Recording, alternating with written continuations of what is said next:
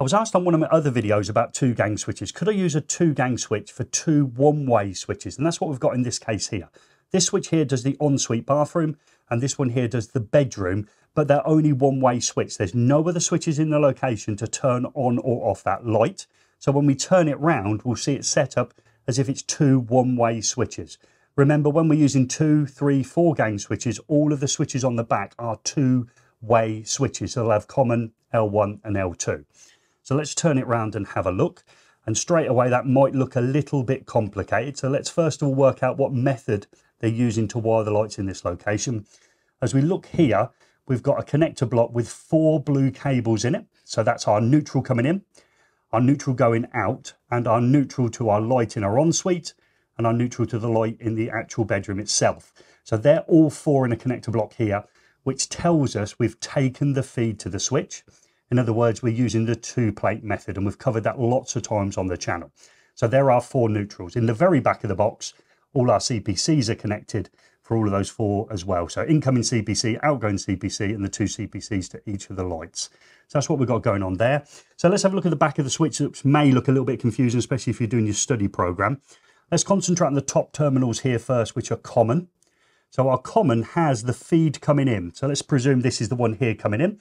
So this cable here brings in the permanent line connection into common. We've bridged it across to make it easier for ourselves with the amount of cables in one hole. So we've just put a little loop across to here, which brings the common or permanent line across to this common. So line in here, line loops across to the other common, and then goes out on this one, say to another bedroom in the location. So that would be the line going out. So we've got a permanent line connection into common, which linked across and then goes out meaning that our connections at the bottom here, which are both out of L1, so L1 of this switch here and L1 of this switch here, are the switching lines going out. So when we operate the switch, we take the permanent line from here, we operate the switch, it comes onto here, and this becomes a switching line that turns on the ensuite bathroom. And if we turn this one on, the permanent line at the top here, the switching line goes out and turns on the bedroom light.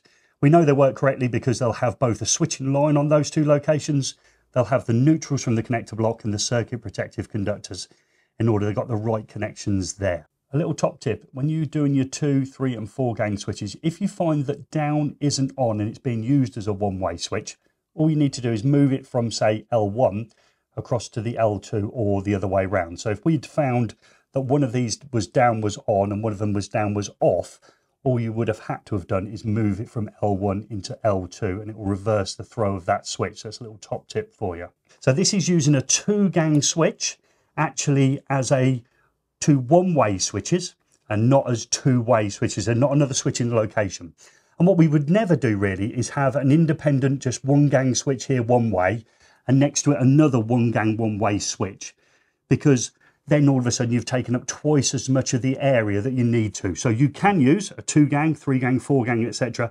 All of them as one way switches, as we've done here, or you can combine them. Perhaps we'd have the ensuite bathroom switch here, and then maybe the bedroom one, you'd want to switch at the door, but maybe you'd also want to switch by the side of the bed so it's actually two way and meant you didn't have to get up in order to operate that switch. And if you want to see how I did that in a wiring diagram, check out the video on screen over there.